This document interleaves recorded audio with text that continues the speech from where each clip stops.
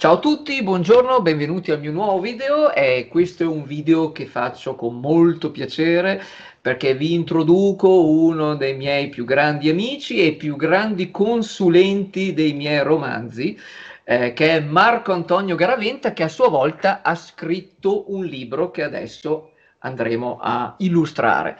Ciao Marco Antonio, come stai?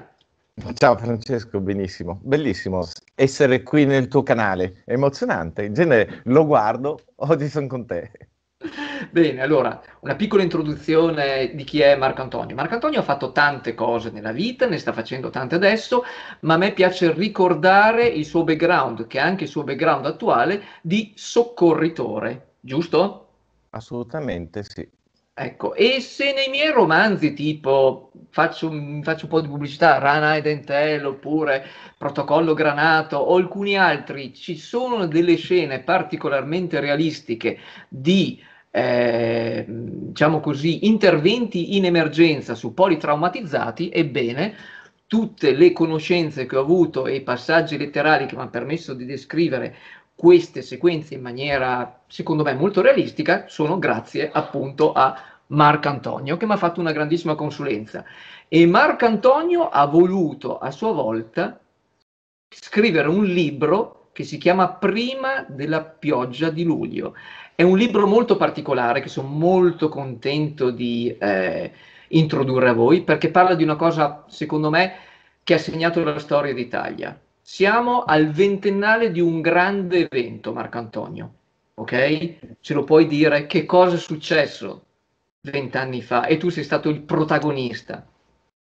Beh, protagonista è un parolone, sono stato una delle persone che, che l'hanno vissuta.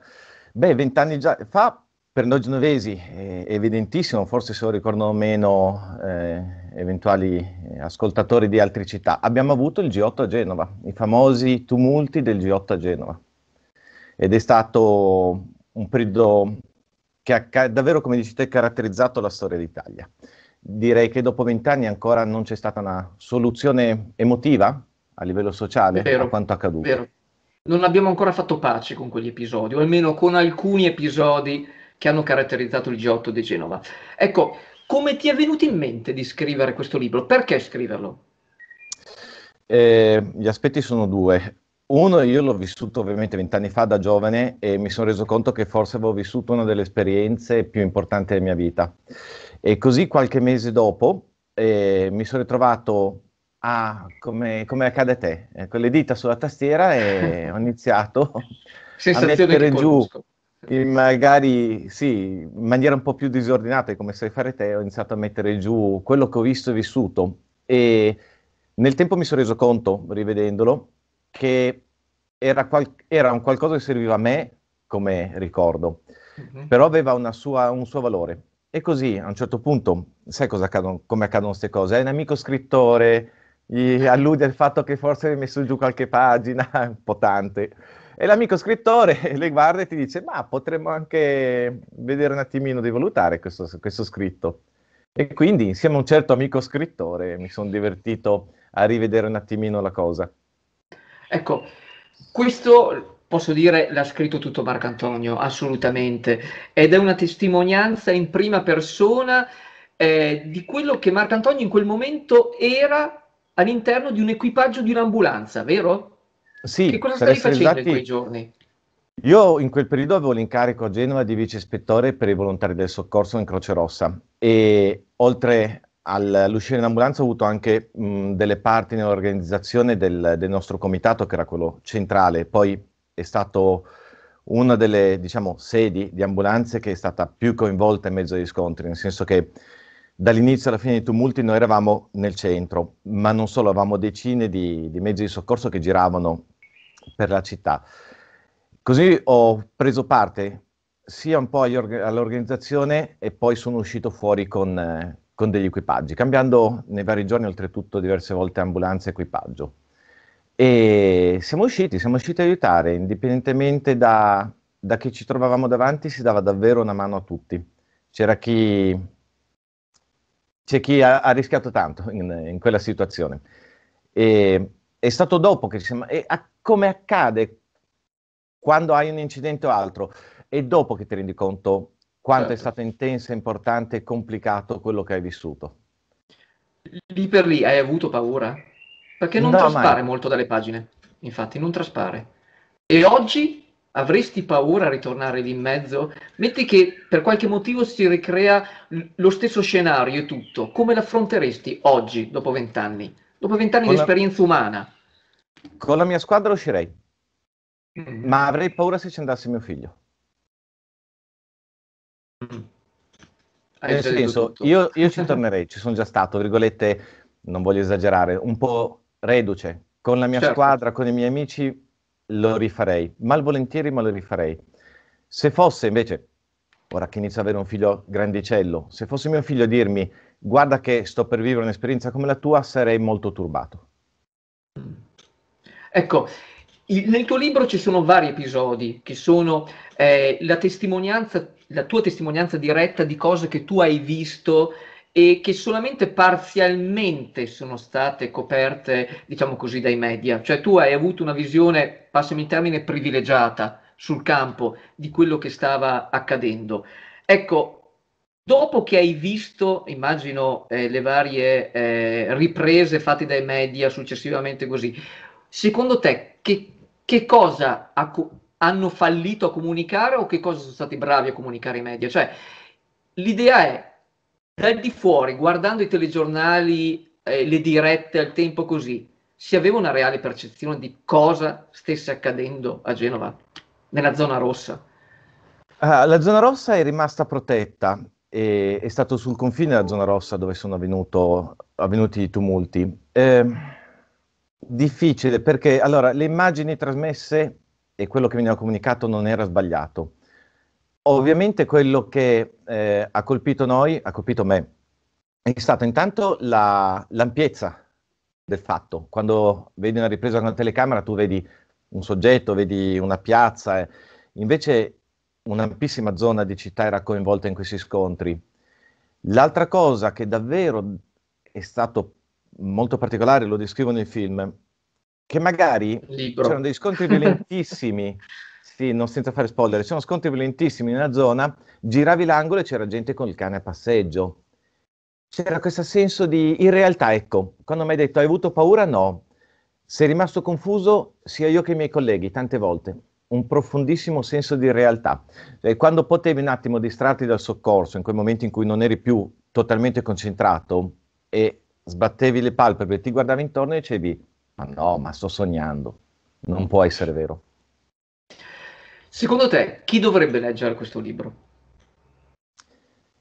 Per assurdo, allora, i soccorritori, eh, secondo me, nel libro ho inserito anche degli aspetti tecnicamente utili su come affrontare una situazione simile e tumulti di questo livello qui non si sono visti nel, negli ultimi 50 anni.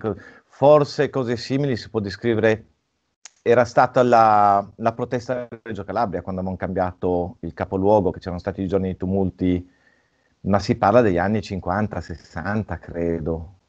Non vuol dire sciocchezze. I tumulti di questo tipo qui in Italia non credo non siano mai accaduti. Per cui non c'è un, un know-how che qualcuno può trasmettere nell'ambiente del soccorso, tranne noi che eravamo a Genova, non solo Croce Rossa, eh, anche tutti gli altri colleghi. Sicuramente è un libro da soccorritore ai soccorritori, non, non, c'è dubbio. Io ormai in età in cui mi sento un po' più uno zio anziano che passa a quelli più giovani le proprie esperienze per, per, per arricchirli. Il, credo che sia interessante comunque per un pubblico più vasto, se qualcuno ancora voglia di vedere una visione del G8. Il, gli aspetti tecnici mh, mm, non, non, ho cercato di metterne troppi, quanti necessari per i miei colleghi per capire cosa fare se si ritrovassero in una situazione simile. Quello che ho cercato di, di inserire nel romanzo è una visione imparziale, nel senso che anche se ciascuno dei nostri soccorritori aveva una sua opinione sociale, politica e quanto, quando eravamo in divisa in ambulanza siamo rimasti davvero, secondo me, tutti realmente neutrali. E abbiamo visto qualcosa, l'abbiamo registrato, che la gente ancora... Io, io non l'ho visto uscire fuori dai documenti, dai discorsi sul G8 in vent'anni. Le cose possono cambiare molto, molto rapidamente. Tanto rapidamente che la gente non si rende neanche conto che si è adattata. quando le cose vanno male, e qui entriamo molto sul tema del, del, dei tuoi romanzi, del, dei tuoi racconti, non hai il tempo di registrare cosa sta accadendo, è solo il tempo di adeguarti. E dopo che ti rendi conto che, ops, ma come? Ieri mattina, città tranquilla, ieri pomeriggio si sparava per strada. Questo, è co- questo, questo particolare nella mentalità italiana non esiste. Eh, ma non cambierà mai nulla, cambierà ma cambierà lentamente. Noi siamo da una stiamo uscendo, speriamo, da una pandemia e l'abbiamo vista arrivare un po' alla volta. Ok, è stato un fenomeno particolare. La violenza arriva di colpo. Cioè, la violenza è boom. Quando inizia la violenza è violenza. Puoi o scappare o se rimani in mezzo, non ci sono di mezzo. Noi abbiamo avuto la possibilità di essere un po' protetti, forse per l'incarico e il guscio che avevamo attorno. Alludo all'ambulanza, alla divisa, io e i miei colleghi, ripeto, sia pubbliche assistenze che, che Croce Rossa e quanto. Quindi noi siamo riusciti a vederlo non proprio come l'hanno visto gli altri, perché o era gente che partecipava ai movimenti per strada o riguardavano delle finestre. Noi ci siamo mossi un po' come topolini in giro per questi, questi ambienti qui. Ed era violenza vera. Cioè, mh, mm, qualcuno pensa ancora forse che si sia andati due sganassoni. La gente, una, una parte delle persone coinvolte, la mia convinzione è che volesse ammazzare le persone che aveva di fronte. Non volevano farli male, si voleva ammazzare.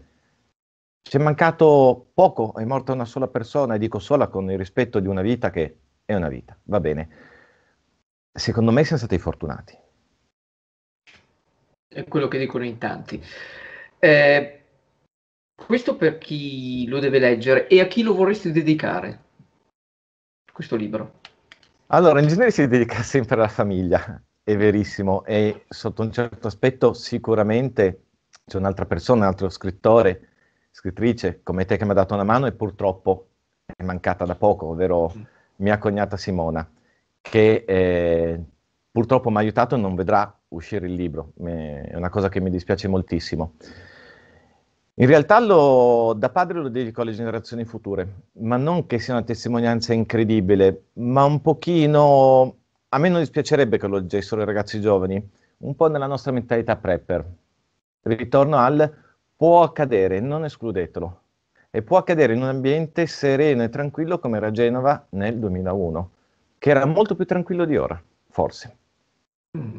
da un punto di vista sociale politico e anche economico. Eravamo molto più felici. Per cui è un po' il mio modo di dire attenzione, è già accaduto e non troppo tempo fa. Esatto. Perché questo titolo? Non posso spoilerare. E, mm. eh, sì. Si capisce quando si arriva quasi all'ultima pagina. È per quello che è importante e leggerlo. Chi era lì forse lo ricorderà, ma il, il meteo, il signore, secondo me come si vuole interpretare, in quei giorni lì ha voluto scherzare un pochino con noi. Quindi è un libro che secondo me dovrebbero leggere anche, è un libro che dovrebbe leggere anche chi ha partecipato attivamente e passivamente a quegli episodi, a quei giorni, qualunque fosse la, la qualifica che aveva, ok? E che avesse. E però secondo me è soprattutto molto molto molto indicato a tutte quelle persone che l'hanno visto solamente in televisione, secondo me. Come me, ad esempio, che ho avuto questa percezione e poi abbiamo visto tutti gli strascichi che ci sono stati giudiziari, che sono durate per, per, svariati anni, a tutt'oggi se ne parla, a tutt'oggi non si sa di preciso, c'è una, una, diciamo così, una verità giudiziaria, eh, ma c'è anche un altro tipo di verità che continua a serpeggiare. Ovviamente questo libro, lo dico subito, non vuole giudicare, vero? Tu, tu non dai un giudizio, questo è molto importante secondo me dirlo. Non ce l'ho eh, neanche io un giudizio. Perché Dopo non si può dare. Avendolo vissuto. Mm. Esatto. È stato un insieme di condizioni molto complesse che forse non verranno neanche mai a galla tutte. Esatto. Esatto, perché dalle tue pagine traspare che hai visto appunto situazioni di violenza estrema unite a situazioni di calma nel giro di 5 metri o nel giro sì. di 5 minuti. Ecco, però hai fatto il tuo dovere, il tuo equipaggio ha fatto il suo dovere, tanti altri hanno fatto il loro dovere nel G8 di Genova e secondo me questo libro è la miglior testimonianza e il miglior omaggio a quelle persone che nonostante tutto, nonostante questa situazione, loro hanno fatto il loro dovere. Ecco, questa è secondo me la cosa migliore che può dare questo libro e trasmetterlo a chi non c'era o chi non ha potuto capire. Quindi, prima della pioggia di luglio, Marco Antonio Garaventa, ecco, questo libro quando sarà disponibile? Sono già in ritardo e doveva, essere, doveva essere già uscito. Il lavoro è... mi ha veramente tagliato un po' le gambe. Il motivo di farlo uscire così tardi è stato che oggettivamente, dopo quello che ho vissuto, non volevo che diventasse, potesse diventare un oggetto, eh, diciamo, tirato in causa, nel vero senso della parola. Certo, certo.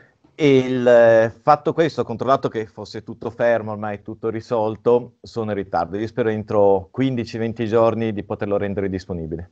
Va benissimo, quindi immagino che sarà disponibile su tutte le piattaforme di, di, di vendita online e tutto sì. in vari formati e quindi mi raccomando, prima della pioggia di luglio, Marco Antonio Garaventa, una testimonianza diretta del G8 del 2001 a Genova. Ciao Marco Antonio e grazie. Ciao Francesco.